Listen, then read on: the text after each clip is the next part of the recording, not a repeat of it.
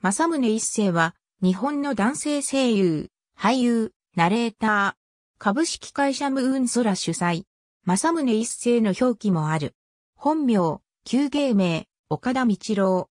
1978年に正宗一世に改名。芸名の名付け親は、占い師の王霊家。出生名は、井上道郎。東映の岡田茂は、母のいとこ、岡田祐介は、本人の鳩子にあたる。広島県呉市出身。青山学院大学経済学部卒業後、読売新聞編集局、編成部ナンパ担当。仕事中ラジオから流れる上達也のナレーションに魅了され、廃教養聖書に中途入所し、ナレーターに転身。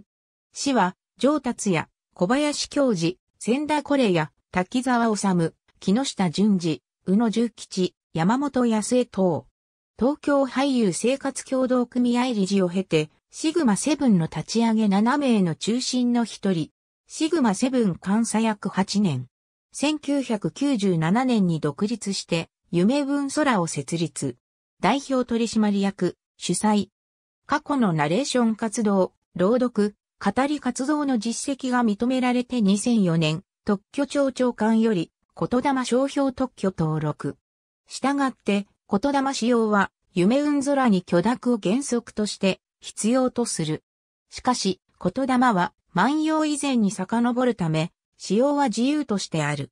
2018年12月2日をもって、日本俳優連合を離脱、テレビ、ラジオ業界から撤退した。現在は、書籍、朗読 CD などの制作、販売やインターネット配信などを主として活動している。映画ドラマアニメ。ありがとうございます。